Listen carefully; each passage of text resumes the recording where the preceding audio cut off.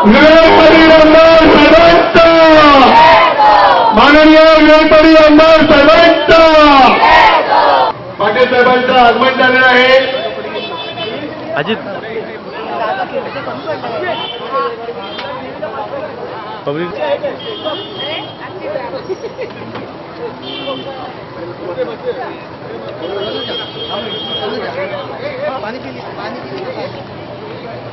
सर्वांनी शांत बसायचं आहे. आपल्या सभेच्या कार्यक्रमाला सुरुवात होत आहे. इथे आलेले सर्व मान्यवर.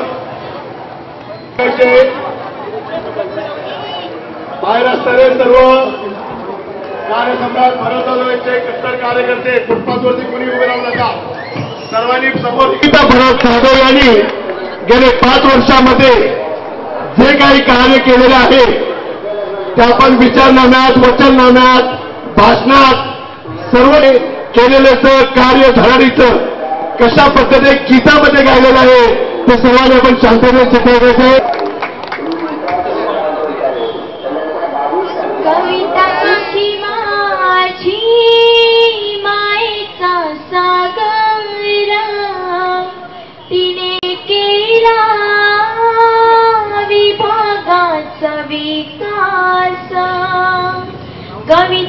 की माझी मायचा सागरा तिने केला विभागाचा विकास. हे विभागात नव्हते पालकीची शाळा. तिने आणली पालकेची शाळा.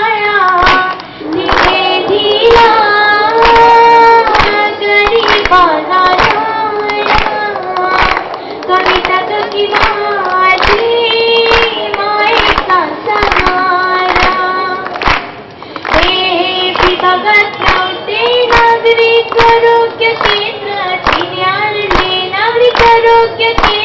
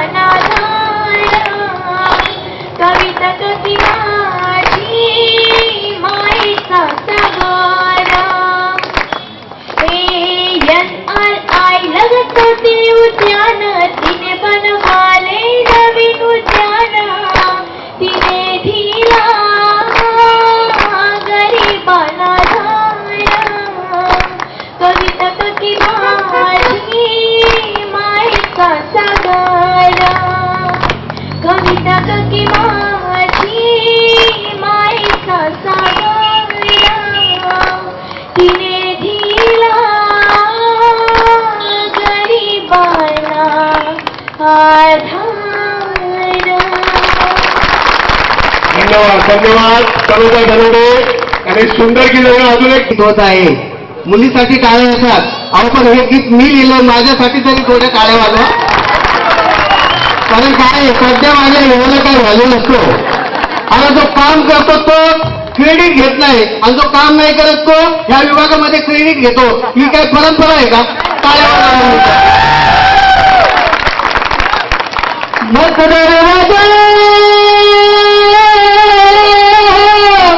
ऐक सांगतो कविता ताईला पुन्हा पालिकेमध्ये पाठवायचं. भरगस माताने निवडून द्यायचं त्यात समोरचं बटन दाबायचं. भरगस माताने निवडून द्यायचं मधुर राजा ऐक सांगतो अरे बोल बापांना बळी नाही पडायचं. अरे बोल बापांना बळी नाही पडायचं. अरे याच्याकडे लक्ष नाही द्यायचं. अरे बावीस एप्रिलला गावी नाही जायचं. बरे भट मताने निवडून द्यायचं. कविता ताईला पुन्हा पालिकेमध्ये पाठवायचं. बरं जाधव काकांना पालिकेमध्ये पाठवायचं.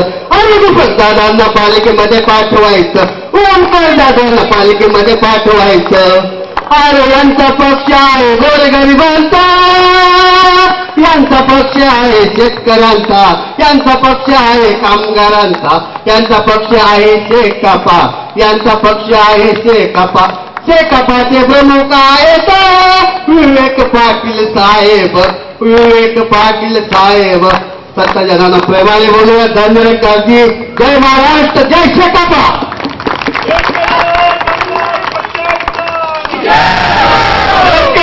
कामगार पक्षाचा.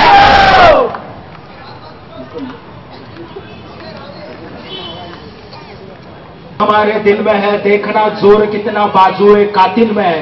अशा स्फूर्तीनं इथं प्रचंड संख्येने जमलेल्या माझ्या मतदार बंधू भगिनींना सचिन तडफळेचा लाल सलाम. बंधूनो आणि भगिनीनो येत्या बावीस तारखेला आपण ज्यांना तुम्ही सही रे सहीची जाहिरात बघितली असेल. भरत जाधव कविता जाधव आणि आता परत परत भरत जाधव आणि कविता जाधव यांना आपल्याला या निवडणुकीमध्ये नगरसेवक म्हणून पाठवायचे. पण मित्र आपण नगरसेवक का करायचे? केवळ तिथं दोन खुर्च्या भरण्याकरता दोन प्रतिनिधी होण्याकरता यांना नगरसेवक म्हणून पाठवायचं आहे का? तर यांना नगरसेवक म्हणून या चारही प्रतिनिधींना पाठवायचं की सर्वसामान्याचा जनसामान्यांचा मध्यमवर्गीयाचा आणि या टक्केवारीचं राजकारण मोडून काढण्याकरता आणि भ्रष्टाचारांच्या पार्श्वभूमीवर लात मारण्याकरता यांना आपल्याला नगरसेवक करायचंय बंधुना आणि भगिनीने ही जी लढाई आहे ही परिवर्तनाची लढाई आहे.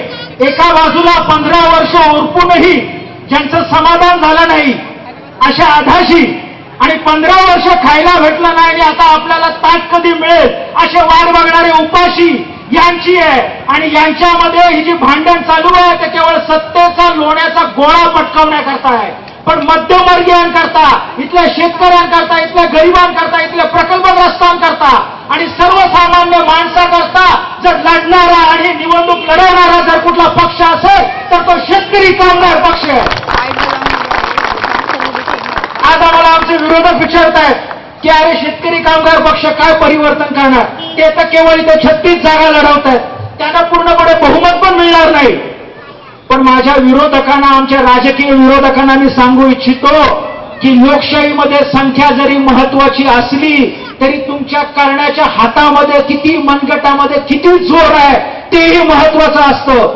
आज इथं प्रचंड संख्येला माझ्या माता भगिनी जमलेल्या आहेत. त्यांना मी एक सांगू इच्छितो की तरुण समाजाला बुडवणाऱ्या या समाजाला कीड असणारी छमछम कोणी राष्ट्रवादी का काँग्रेसनं का शिवसेनेनं का भाजपनं बंद केली नाही तरी डान्स बारची संस्कृती बंद करायचं श्रेय जातं. आमदार विनोद पाटील यांना.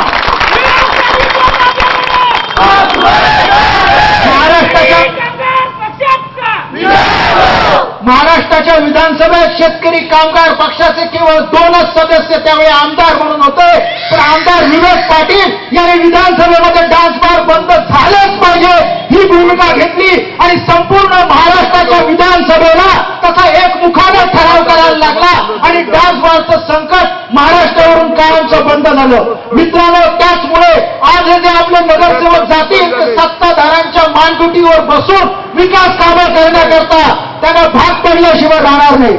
आज ही जी लढाई आहे मित्रांनो आज सांगतात की शेतकरी कामगार पक्ष काय आहे? मी त्यांना एकच सांगू इच्छितो की आमचे जे कार्यकर्ते आहेत आमचे जे उमेदवार आहेत ते जनतेमधून आलेले आहेत. कुठल्या व्हाईट हाऊस मधून ग्लास हाऊस मधून का शिवालयामधून आलेले नाहीये आमचे उमेदवार वरतून येत नाहीत तर ते जनसामान्य लोकांमधून येतात. आणि आज कविताताईंनी गेल्या जे पाच वर्ष काम केलेलं आहे त्या कामाची पावती म्हणून त्या कामाची पोच पावती म्हणून ते आपल्याकडे मत मागतायत. त्या मत मागतायत त्या केलेल्या कामाला केलेल्या विकासाला मत मागतायत. आणि या परिवर्तनाच्या लढाई करता कविताताईंची जी निशाणी बॅट आहे त्याच्या समोरचं चिन्हाचं बटन आपण दाबायचंय आणि त्यांना आता बावीस तारखेला प्रचंड मताने विजयी करायचंय. आज शेतकरी कामगार पक्ष विरुद्ध बाकीच्या धनदानग्यांचे पक्ष अशी एक विषम लढाई दिसते पण मित्रांनो आपल्याला एक सांगू इच्छितो. एक नरेंद्र त्याचे सहा मुख्यमंत्री तीस तीस केंद्रीय मंत्री आणि शंभर खासदार हा असा एका बाजूला कौरवांसारखा फौजफाटा आणि समोर कोण होतं? तर नोकरीचा राजीनामा दिलेला एक संधी अधिकारी सहा ते सात रिक्षावाले आठ ते नऊ पत्रकार चार पाच वकील तीन चार समाजसेवी करणारे आणि बाकी सर्वसामान्य असे लोक मध्यमवर्गीय असे लोक की ज्यांना समाजसेवेची आवड होती दिल्लीमध्ये आपण काहीतरी करू अशी इच्छा होती या सर्वसामान्य लोकांनी या कौरवांचा पराभव केला. दिल्लीमध्ये जे आप करू शकतो ते नवी मुंबईमध्ये शेकाप जरूर करू शकतो. ही जी जनसामान्यांची ताकद आहे.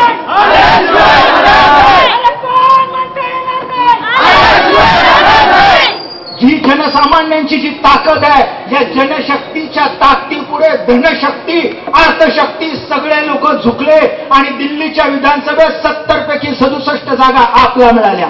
ही नवी मुंबई एक भारताची प्रतिकृती आहे. भारतातल्या प्रत्येक जिल्ह्यातून आणि महाराष्ट्रातल्या प्रत्येक तालुक्यातून आलेला माणूस या नवी मुंबईमध्ये राहतो. आमची एकच सरळ मागणी आहे. इथं गेले जे स्थानिक बाहेरचा असा भेदाभेद न करता इथं जे वीस पंचवीस वर्ष राहतात हे सगळ्याच आमच्याकरता स्थानिक आहे इकडचा प्रत्येक मध्यमवर्गीय आहे. आज आपल्या मराठीमध्ये एक म्हण आहे की माय मरो आणि मावशी जगो. पण आम्हाला माईला पण जगवायचंय आणि मावशीलाही जगवायचंय. आम्हाला इथला स्थानिक माणूसही हवाय. आणि जे बाहेरून ते कष्ट करण्याकरता स्वतःच्या प्रगती करण्याकरता आलेले लोक आहेत तेही आम्हाला हवेत. आज आपण प्रत्येक जण आपापलं मूळ गाव सोडून इथं आलो. नवी मुंबईला आपलं घर म्हणलं कर्मभूमी बनवली. आपण इथं आलो कशासाठी? तर स्वतः करता स्वतःच्या कुटुंबाच्या आणि समाजाच्या उन्नती करता आलो. आज आपल्या मुलांना आपल्याला जरी फी परवडत नसेल तरी सीबीएसईच्या आयसीएसई या शाळेमध्ये पाठवतो. आमचं आपल्याला एक जाहीर अभिवचन आहे. शेतकरी कामगार पक्षाला सत्ता द्या. महानगरपालिकेच्या शाळेचा दर्जा असा करू की सीबीएसई आणि आयसीएसईच्या शाळेमध्ये टाकायची. आपल्या मुलांना जायची त्या शाळेमध्ये गरज राहणार नाही.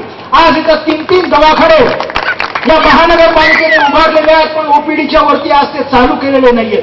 आज डायलिसिस सारखी यंत्रणा फक्त पंचवीस ते पन्नास लोकांना वाशीमध्ये उपलब्ध होते. आज या तिन्ही रुग्णालयांमध्ये डायलिसिस असू दे एम आर आय असू दे का सिटी स्कॅनची सेवा आहे.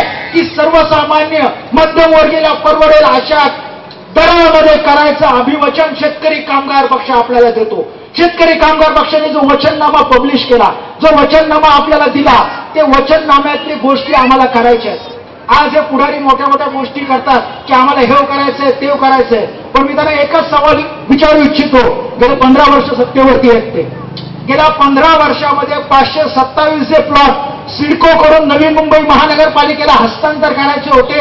त्यातले फक्त सत्तावीस प्लॉट आजपर्यंत हस्तांतरित केले गेले आहेत आणि पाचशे पेक्षा जास्त प्लॉट आजही त्याचं नवी मुंबई महानगरपालिकेकडे हस्तांतर करणं बाकी आहे. मित्रांनो गेल्या पाच वर्षातले मी जेव्हा बजेट तपासला सोळाशे करोडच्या वरती बजेट असलेलं नवी मुंबई महानगरपालिका आहे. गेल्या तीन वर्ष सतत बजेटमध्ये हे प्रोव्हिजन करतात. सीसीटीव्ही लावायचे सीसीटीव्ही लावायचे. जर आपण ते बजेट उघडून बघितलं तर गेल्या तीन वर्षात एकही रुपयाने सीसीटीव्ही करता खर्च केला नाही. या वर्षीचं नवी मुंबई महानगरपालिकेचं बजेट आहे सोळाशे पन्नास करोड रुपये. बरोबर ना? सोळाशे पन्नास करोड रुपयाचं बजेट आहे. अरे शरण वाटायला पाहिजे या महापौराला. आज आमच्या इथे कामोट्याचे सरपंच बसले खारघरचे सरपंच बसलेत. सात कोटी रुपयाची बजेट आहे ग्रामपंचायतीची. आम्ही शंभर टक्के ठिकाणी सीसीटीव्ही लावू शकलो आणि या महापौर साडे सोळाशे कोटी रुपयाचं बजेट असताना नवी मुंबईमध्ये सीसीटीव्ही लावू शकले नाही. ही शर्मेची गोष्ट आहे. आज ह्यांचा स्टँडिंग मधला अंडरस्टँडिंग काय आहे तो भरत जातो. माझ्यापेक्षा तुम्हाला जास्त चांगलं वेळ सांगू शकतील.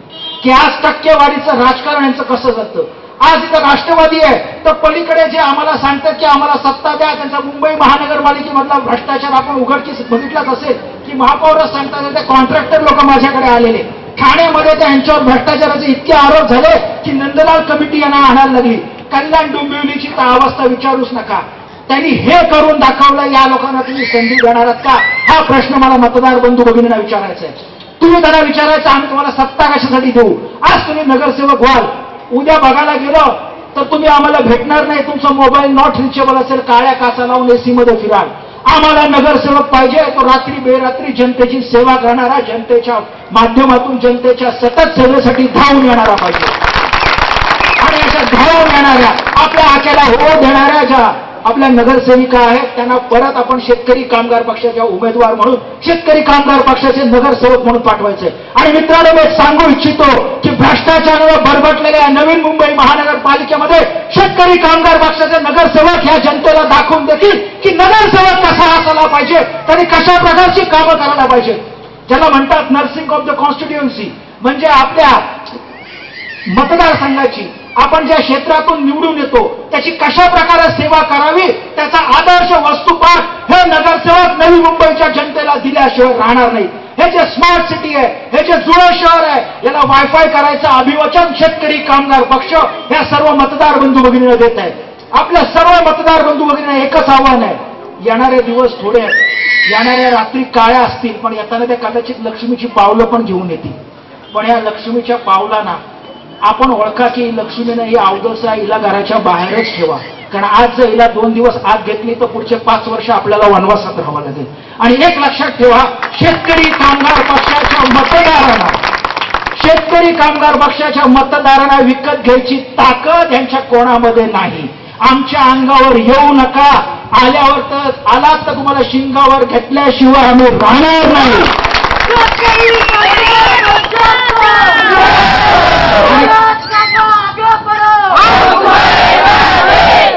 आणि तुमच्या धमक्यांना आणि तुमच्या गुंडगिरीला घाबरणारा शेतकरी कामगार पक्ष नाहीये. कारण तुमची हद्द जिथे संपते तिथे आमची हद्द सुरू होते. तर त्यामुळे माझ्या सर्व मतदार बंधू भगिनींना कार्य करताना आवाहन आहे की येते दोन तीन दिवस डोळ्यात तेल घालून आपल्या उमेदवाराचा प्रचार करा आणि बावीस तारखेला मतदार केंद्रामध्ये जाऊन बॅट समोर बटन दाबा. आणि कविता ताईंना आणि बाकी सर्व उमेदवारांना प्रचंड मतानं विजयी करा. तसं तेंडुलकरला स्वागोवर खेळायला दोन चारच मिनिटं बोल मिळतात. तसा मी पण सचिन होतो त्यामुळे मी थोडक्यात माझं भाषण आटकतोय जय हिंद जय महाराष्ट्र. तू नाशिक जामखेड पारनेर. पुण्यापासून इथं सर्व गेलेले आपण शेतकऱ्यांचीच मुलं आहोत. माता वगैरे शेतकऱ्यांचीच आहेत. पोटा भरण्यासाठी आपण गावातून इथं आलेलो आहोत. आणि सर्व पक्ष सोडा. पण हा शेतकरी कामगार पक्ष पकडा कारण शेतकरी कामगार पक्षात आपण गेले तर आपलं भवितव्य नक्की सुधारणार आहे लक्षात ठेवा. यानंतर मल्लीना काय आपण मार्गदर्शन करतील. मी त्यांना विनंती करतो ते दोन शब्द नवी मुंबई महानगरपालिका सार्वत्रिक निवडणूक दोन हजार पंधराच्या या ठिकाणी प्रचार सभेसाठी आलेले आमचे नेते आदरणीय माजी आमदार विवेकानंद पाटील साहेब. त्याचप्रमाणे आत्ताच ज्यांनी नावाप्रमाणे आणि आपल्या चिन्हाचा प्रचार करताना तुफान बॅटिंग केलं ते माझे मित्र सचिन ताडफळे चारही उमेदवार या प्र त्याचप्रमाणे या ठिकाणी कामोट्याचे सरपंच माझे मित्र के के म्हात्रे त्याचप्रमाणे पनवेलचे माजी सभापती या ठिकाणी आहेत प्रमोद भगत आणि उपस्थित सर्व बंधू आणि भगिनींना. या ठिकाणी आपण बावीस तारखेला होणाऱ्या नवी मुंबई महानगरपालिका निवडणुकीच्या प्रचारासाठी इथे आम्ही आलेलो आहोत आणि आपण या ठिकाणी आमचे विचार ऐकण्यासाठी आलेलो आहोत. काल जी चोवीस तासवर एक लाईव्ह कार्यक्रम होता. त्या ठिकाणी आमदार विवेकानंद पाटील साहेब प्रमुख व्यासपीठावर होते. आणि ज्याप्रमाणे आपण बसलेला आहोत मी समोर बसलेला होतो. या ठिकाणी आतापर्यंत पंधरा वर्ष सत्ता उपभोगलेले राष्ट्रवादीचे मावळते महापौर सागर नाईक होते. त्याचप्रमाणे युतीच्या माध्यमातून या भागाचे खासदार होते आणि भाजपच्या वर्षा भोसले होत्या या ठिकाणी प्रेक्षकांमधून मी एक प्रश्न विचारला तो प्रश्न विचारण्यापूर्वी वर्षा भोसलेंनी आरोप केला होता राष्ट्रवादीवर. नवी मुंबईमध्ये अनधिकृत झोपड्या आणि अनधिकृत बांधकामं मतदानावर डोळा ठेवून राष्ट्रवादीनं वाढवण्यास हातभार लावला असा आरोप वर्षा भोसले यांनी केला होता.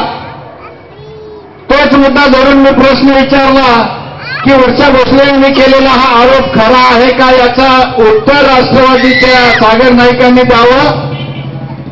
आणि ते खरं असेल तर नुकतंच महानगरपालिकामधील अनधिकृत बांधकामं अधिकृत केली जातील अशी घोषणा करणारे भाजपाचे मुख्यमंत्री देवेंद्र फडणवीस त्यांचं प्रतिनिधित्व करणाऱ्या त्या पक्षाचं प्रतिनिधित्व करणाऱ्या वर्षा भोसले यांचं याच्यावर काय उत्तर असणार आहे? असा प्रश्न मी समोरून विचारला. बंधू भगिनीनं मला सांगायला या ठिकाणी निश्चितपणानं वा- आवडेल.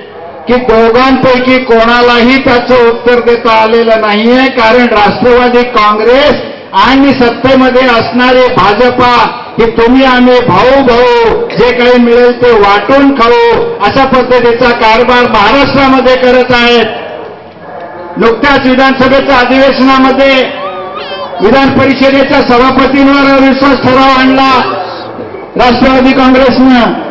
आणि त्याला पाठिंबा देण्याचं काम भारतीय जनता पार्टीनं केलं त्याच्यावरून मी जो आरोप करतोय तो गो- ती गोष्ट सिद्ध होते बंधू भगिनीनो. हा प्रश्न जरी तिथला महाराष्ट्राचा संपूर्ण असला